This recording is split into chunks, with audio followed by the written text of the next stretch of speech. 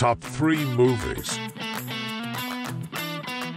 The King of Musang King.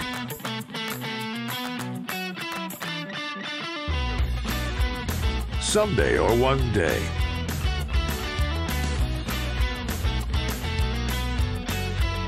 Avatar, The Way of Water.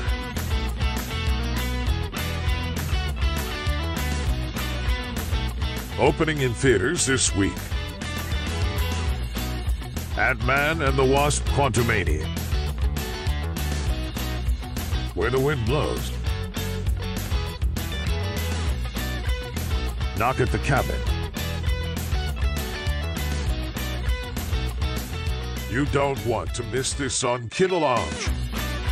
Radioactive.